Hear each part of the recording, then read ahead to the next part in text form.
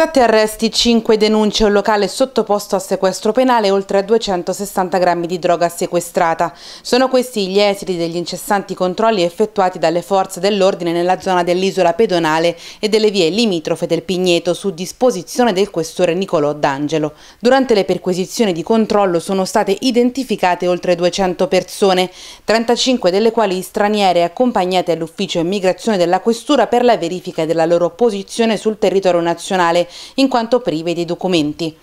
Due di queste al termine dei controlli sono state arrestate dagli agenti della Polizia di Stato poiché a loro carico pendeva una condanna per reati inerenti agli stupefacenti, mentre quattro sono quelle accompagnate presso il CIE di Ponte Galeria per l'espulsione dal territorio nazionale. Arrestato poi il barista di un locale, il quale è stato trovato in possesso di hashish, cocaina e 3.000 euro in contanti.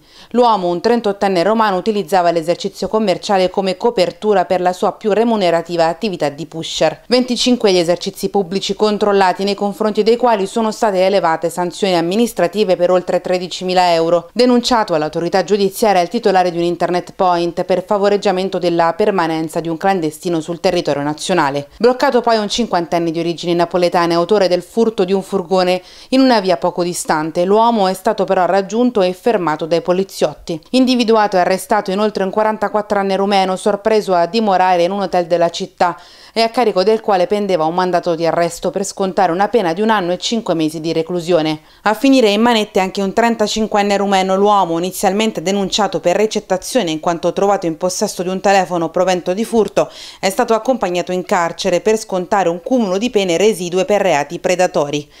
Proprio in piazza del Pigneto, inoltre, grazie al fiuto di cani antidroga del reparto cinofili della questura, gli agenti hanno individuato e sequestrato circa 260 grammi tra hashish e marijuana nascoste tra gli alberi o in terra sulla stessa isola pedonale.